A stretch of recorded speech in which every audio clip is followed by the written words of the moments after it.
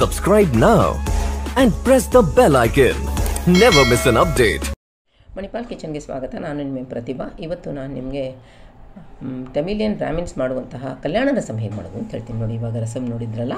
ಎಷ್ಟು ಚೆನ್ನಾಗಿ ಕುದೀತಾ ಇದೆ ನೋಡಿರಿ. ಇದು ಕುದಿಯೋದು ನೋಡಿದ್ರೆ ನಿಮ್ಗೆ ಮಾಡಬೇಕು ತಿನ್ನಬೇಕು ಕುಡಿಬೇಕು ಅಂತ ಅನಿಸಲ್ವಾ? ತುಂಬ ಚೆನ್ನಾಗಾಗುತ್ತೆ. ಈಗ ನೋಡಿ ಏನು ಬೇಕು ನೋಡೋಣ. ಒಂದು ಟೊಮೆಟೊ ತೊಗರಿಬೇಳೆ ಅರಿಶಿನ ಪುಡಿ ಮತ್ತು ಹಿಂಗು. ಇನ್ನು ಕೆಲವು ಬೇರೆ ಇಂಗ್ರೀಡಿಯೆಂಟ್ಸ್ ಇದೆ. ಅದನ್ನು ಇವಾಗ ತೋರಿಸ್ತೀನಿ.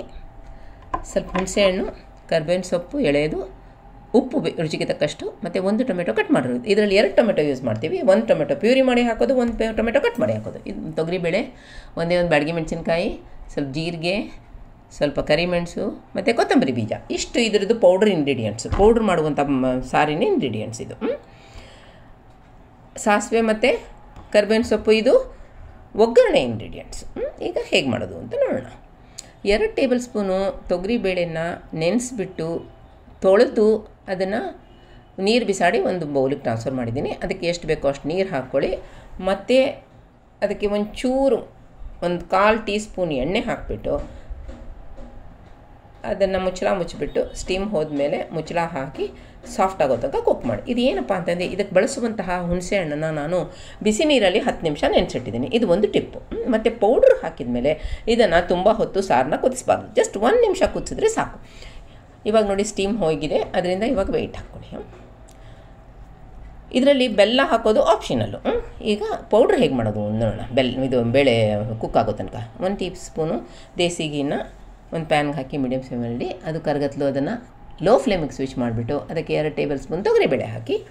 ಇದನ್ನು ಇವಾಗ ಕೈ ಆಡಿಸ್ಕೊತಾ ಇರಿ ಚೆನ್ನಾಗಿ.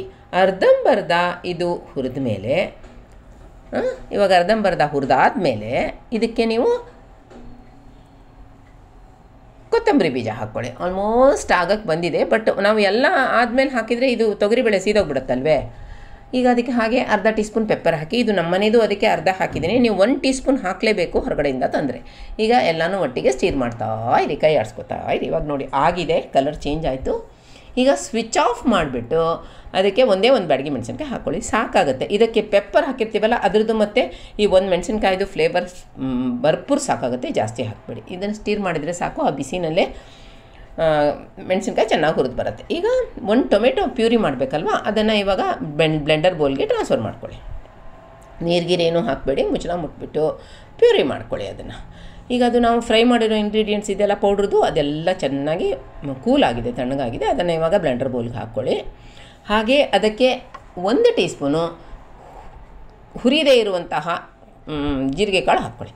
ಮುಚ್ಚಳ ಬಿಟ್ಬಿಟ್ಟು ಅದನ್ನು ಕೋರ್ಸ್ ಆಗಿ ಪೌಡ್ರ್ ಮಾಡ್ಕೋಬೇಕು. ನೈಸ್ ಮಾಡಬೇಡಿ. ಕೋರ್ಸ್ ಮಾಡಿದರೆ ಮಾತ್ರ ಸಾರು ಟೇಸ್ಟ್ ಆಗೋದು. ಈಗ ನಾವು ನೋಡಿ ಕುಕ್ ಮಾಡಿದ ಬೇಳೆ ನೋಡಿ, ಎಷ್ಟು ಚೆನ್ನಾಗಿ ಬಂದಿದೆ ಅಲ್ವಾ? ಅದನ್ನು ಜಸ್ಟ್ ಮ್ಯಾಶ್ ಮಾಡ್ಕೊಳ್ಳಿ. ಸೊ ದ್ಯಾಟ್ ಅದು ಒಂಥರ ಬೇಳೆ ಬೇಳೆ ಬೇಳೆ ಉಳಿದು ಉಳಿದು ಬರಲ್ಲ ಅಲ್ವಾ ಸಾರಿನಲ್ಲಿ? ನೋಡಿ ಮ್ಯಾಶ್ ಮಾಡಿಬಿಟ್ಟಿದ್ದೀನಿ ಈಗ ನಾನು ಅದನ್ನು ನೆನೆಸಿಟ್ಟಿದ್ದೆ ಇದರನ್ನು ಹುಣಸೆ ಹಣ್ಣನ್ನು ಬಿಸಿನೀರಲ್ಲಿ. ಅದರದೆಲ್ಲ ಸ್ಕ್ವೀಸ್ ಮಾಡಿ ಜ್ಯೂಸನ್ನ ಒಂದು ಬೌಲ್ಗೆ ಹಾಕ್ಕೊಂಡು ನಂತರ ಲೋ ಫ್ಲೇಮಲ್ಲಿ ಇಡಿ. ಆಯ್ತಲ್ಲ? ಈಗ ಅದಕ್ಕೆ ಟೊಮೆಟೊ ಪ್ಯೂರಿ ಮಾಡಿಟ್ಟಿದ್ದೀವಲ್ಲ ಅದನ್ನ ಹಾಕ್ಕೊಳ್ಳಿ. ಹಾಗೆ ನಾವು ಕಟ್ ಮಾಡಿದ ಟೊಮೆಟೊ ಇದೆಯಲ್ಲ ಅದನ್ನೂ ಅದಕ್ಕೆ ಹಾಕ್ಕೊಳ್ಳಿ. ನಾನು ದೊಡ್ಡ ಇದು ಪ್ಯೂರಿ ಮಾಡೋಕ್ಕೆ ಬೇಬಿ ಟೊಮೆಟೊ ಯೂಸ್ ಮಾಡಿದ್ದೆ. ಇದಕ್ಕೆ ಹುಳಿ ಟೊಮೆಟೊ ಯೂಸ್ ಮಾಡಿದ್ದೆ. ಈಗ ಅದಕ್ಕೆ ಬೌಲ್ ತೊಳೆದಿದ್ದು ನೀರು ಹಾಕ್ಕೊಳ್ಳಿ. ಪ್ಯೂರಿ ಮಾಡಿದ ಬೌಲ್ ಇದೆಯಲ್ಲ, ಅದನ್ನು ತೊಳೆದಿದ್ದು ನೀರು ಹಾಕ್ಕೊಂಡು ಅದನ್ನು ಚೆನ್ನಾಗಿ ಇದು ಕುದಿಸ್ಬೇಕೀಗ ಅರ್ಧ ಟೀ ಸ್ಪೂನ್ ಅದಕ್ಕೆ ಒನ್ ಥರ್ಡ್ ಟೀ ಸ್ಪೂನು ಅರಿಶಿನ ಪುಡಿ ಹಾಗೆಯೇ ರುಚಿಗೆ ತಕ್ಕಷ್ಟು ಉಪ್ಪು ಮತ್ತು ಎರಡು ಪಿಂಚು ಹಿಂಗು ಪೌಡ್ರು ಹಾಕಿಬಿಟ್ಟು ಚೆನ್ನಾಗಿ ಒಂದು ಮಿಕ್ಸ್ ಕೊಡಿ.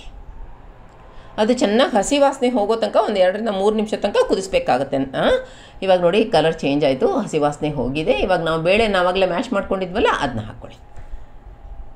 ಆಯ್ತಲ್ಲ? ಈಗ ಅದನ್ನು ಚೆನ್ನಾಗಿ ಒಂದು ಮಿಕ್ಸ್ ಕೊಡಿ ಅದಕ್ಕೆ. ಸೊ ದಟ್ ಬೇಳೆ ಜೊತೆಗೆ ಬೇಳೆ ಅದ್ರ ಜೊತೆ ಎಲ್ಲ ಸೇರಿ ಬಂದುಬಿಟ್ಟು ಚೆನ್ನಾಗಿ ಮಿಕ್ಸ್ ಆಗಲಿ. ಈಗ ನೋಡಿ ಚೆನ್ನಾಗಿ ಬಾಯ್ಲ್ ಆಗೋಕ್ಕೆ ಬರ್ತಾ ಇದೆ. ಈ ಸ್ವಲ್ಪ ಕರ್ಬೇವಿನ ಸೊಪ್ಪು ಹಾಕ್ಕೊಳ್ಳಿ ಎಳೆದು. ಲೋ ಫ್ಲೇಮಲ್ಲೇ ಇಟ್ಬಿಟ್ಟು ಸ್ಟೀರ್ ಮಾಡ್ತಾ ಇರಿ. ಇವಾಗ ಬೇಳೆ ಮತ್ತು ಕರ್ಬೇವಿನ ಸೊಪ್ಪಿನ ಸ್ವಲ್ಪ ಪರಿಮಳ ಬಿಡಲಿ. ಆಯ್ತಲ್ಲ? ಇವಾಗ ಅದಕ್ಕೆ ನೀರು ಹಾಕ್ಕೊಂಡು ಕನ್ಸಿಸ್ಟೆನ್ಸಿ ಅಡ್ಜಸ್ಟ್ ಮಾಡ್ಕೊಳ್ಳಿ. ಇದು ಒಂದು ಲೀಟ್ರದ್ದು pan seven hundred fifty M L ಮಾಡಿದ್ದೀನಿ. ಕರೆಕ್ಟಾಗಿ ಆಗುತ್ತೆ ಆ ಪೌಡ್ರ್ ಅದಕ್ಕೆ. ನಿಮ್ಗೆ ಬೇಕಾದರೆ ಒಂಚೂರು ಹಾಕ್ಕೋಬೋದು ಇನ್ನೂ ನೀರು. ಇವಾಗ ನಾವು ಮಾಡಿಟ್ಟಿದ್ದಂಥ ಪೌಡ್ರ್ ಹಾಕ್ಕೊಳ್ಳಿ ಅದಕ್ಕೆ. ಮತ್ತು ಒಂದು ಮಿಕ್ಸ್ ಕೊಡಿ. ಚೆನ್ನಾಗಿ ಲೋ ಫ್ಲೇಮಲ್ಲೇ ಇರಲಿ ಅದು. ನೋಡಿ ಒಂದು ಮಿಕ್ಸ್ ಕೊಡಿ. ಮತ್ತು ಒಂದು ಕುದಿ ಬಂದರೆ ಸಾಕು. ಚೆನ್ನಾಗಿ ಒನ್ ಮಿನಿಟ್ ಕುದ್ದೆ ಸಾಕು. ಇವಾಗ ನೋಡಿ ಬಾಯ್ಲಿಂಗ್ ಪಾಯಿಂಟ್ ರೀಚ್ ಆಗಿದೆ ನೋಡಿ. ಅಷ್ಟಾದರೆ ಸಾಕು. ತುಂಬ ಹೊತ್ತು ಕುದಿಸ್ಬೇಕಂತಿಲ್ಲ. ತುಂಬ ಹೊತ್ತು ಕುದಿಸಿದ್ರೆ ಪ ಪೌಡ್ರದ್ದು ಪರಿಮಳ ಎಲ್ಲ ಹಾರೋಗ್ಬಿಡುತ್ತೆ. ಆಯ್ತಲ್ಲ? ಈಗ ಆಯಿತು. ಈಗ ಅದಕ್ಕೆ ಒಗ್ಗರಣೆ ತಯಾರು ಮಾಡೋಣ. ಎರಡು ಟೀ ಸ್ಪೂನು ಘೀ, ದೇಸಿ ಘೀನ ಒಂದು ಲೋ ಪ್ಯಾನಲ್ಲಿ ಹಾಕ್ಬಿಟ್ಟು ಲೋ ಫ್ಲೇಮಲ್ಲಿ ಇಡಿ. ಅದು ನೋಡಿ ಇವಾಗ ಕಾದಿದೆ. ಕಾದ್ಮೇಲೆ ಅದಕ್ಕೆ ಒನ್ ಟೀ ಸ್ಪೂನು ಸಾಸಿವೆ ಕಾಳು ಹಾಕ್ಕೊಳ್ಳಿ. ಪೌಡರ್ ಹಾಕಿದ ಮೇಲೆ ತುಂಬ ಹೊತ್ತು ಕುದಿಸ್ಬೇಡಿ. ಇದು ಒಂದು ಇಂಪಾರ್ಟೆಂಟ್ ಟಿಪ್ಪು ಒಂದು ನಿಮಿಷ ಕುದ್ರೆ ಸಾಕು. ಮತ್ತು ಹಾಗೆ ಕರಿಬೇವು ಹಾಕೊಳ್ಳಿ ಅದು ಕ್ರ್ಯಾಕಲ್ ಆಯ್ತಲ್ಲ ಕರಿಬೇವು ಹಾಕ್ಕೊಳ್ಳಿ ಈಗ ಒಗ್ಗರಣೆ ರೆಡಿ ಆಯಿತು. ಈ ಒಗ್ಗರಣೆನ ನಮ್ಮದು ಕಲ್ಯಾಣ ರಸಮ್ಗೆ ಹಾಕ್ಕೊಳ್ಳಿ ಅದಕ್ಕೆ ಮುಂಚೆ ಸ್ವಲ್ಪ ಕೊತ್ತಂಬರಿ ಸೊಪ್ಪು ಹಾಕ್ಕೋಬೇಕಾಗತ್ತೆ ಸ್ವಲ್ಪ ಕೊತ್ತಂಬರಿ ಸೊಪ್ಪು ಹಾಕ್ಕೊಳ್ಳಿ ಗಾರ್ನಿಷ್ ಮಾಡಿ. ಮತ್ತು ಹಾಗೇನೇ ಈ ಒಗ್ಗರಣೆನ ಅದಕ್ಕೆ ಹಾಕ್ಕೊಳ್ಳಿ ಬಿಸಿ ಬಿಸಿ ಒಗ್ಗರಣೆ ಹಾಕಿದ್ರೆ ಸಾರು ತುಂಬ ಚೆನ್ನಾಗಿರುತ್ತೆ. ನೋಡಿ, ಇವಾಗ ಗೊತ್ತಾಗುತ್ತೆ ನಿಮಗೆ ಬಿಸಿ ಒಗ್ಗರಣೆ ಹೇಗೆ ಬೀಳ್ತಾ ಇದೆ ಅಂತ ಅಂದ್ಬಿಟ್ಟು. ಒಂದು ಮಿಕ್ಸ್ ಕೊಡಿ ಅದನ್ನು. ಮತ್ತು ಒಂದು ಟೆನ್ ಸೆಕೆಂಡ್ಸ್ ಮುಚ್ಚಿಟ್ರೆ ಒಗ್ಗರಣೆ ಚೆನ್ನಾಗಿ ತಾಗುತ್ತೆ, ಅಲ್ವಾ? ಅದರ ನಂತರ ನಾವು ಬಡಿಸ್ಕೋಬೋದು. ರೆಡಿ ಆಯಿತು ನಿಮಗೆ ಈಗ ಕಲ್ಯಾಣ ರಸಮು. ಒಳ್ಳೊಳ್ಳೆ ರೆಸಿಪಿ ಜೊತೆ ಬರ್ತೇನೆ. ಇದು ಒಂದು ಪಾಪಡ್ ಜೊತೆ ಸವಿಯುವುದು. ಬೆಳೆ ಏನು ಬೇಕಂತಿಲ್ಲ. ಅನ್ನದ ಜೊತೆ ಪಾಪಡ್ ಇದ್ದರೆ ಸವಿಲಿಕ್ಕೆ ತುಂಬ ಒಳ್ಳೆಯದಾಗುತ್ತೆ ರೆಸಿಪಿ ಡಿಸ್ಕ್ರಿಪ್ಷನ್ ಬಾಕ್ಸಲ್ಲಿರುತ್ತೆ ನನ್ನ ಚಾನಲ್ಗೆ ದಯಮಾಡಿ ಸಬ್ಸ್ಕ್ರೈಬ್ ಮಾಡಿ ಸಪೋರ್ಟ್ ಮಾಡಿ. ಈ ಲಿಂಕ್ನ ನಿಮ್ಮ ಫ್ರೆಂಡ್ಸ್ ಜೊತೆ ಎಲ್ಲ ಶೇರ್ ಮಾಡಿ ವಾಟ್ಸಪ್ನಲ್ಲಿ ಎಲ್ಲರಿಗೆ ನಮಸ್ಕಾರ.